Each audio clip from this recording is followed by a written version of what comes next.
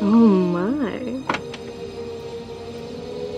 You've always been one to take things to extremity now, haven't you? To a point. I wondered just how long it would take for you to do something about it.